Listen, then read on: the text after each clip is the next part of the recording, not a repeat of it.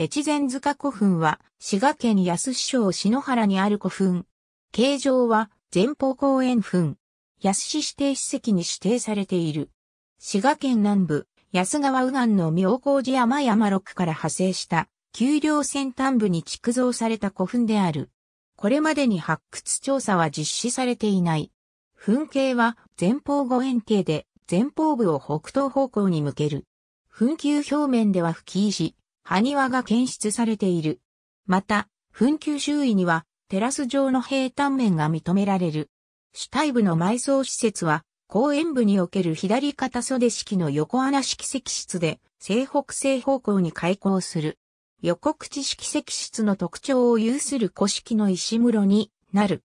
この越前塚古墳は、古墳時代中期復後期の5世紀抜用 -6 世紀前洋頃の築造と推定される。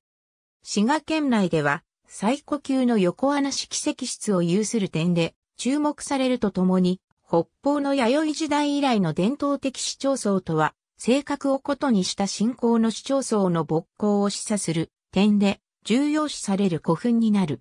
古墳域は1990年に安市指定史跡に指定されている。古墳の規模は次の通り。主体部の埋葬施設は公園部における片袖式の横穴式石室で、西北西方向に開口する。石室の規模は次の通り。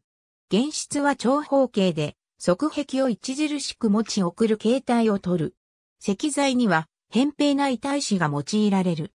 沿道は乾損するものの土砂で大部分を埋没するが、原門部天井石を一段低く、二国目を一段高く構築する。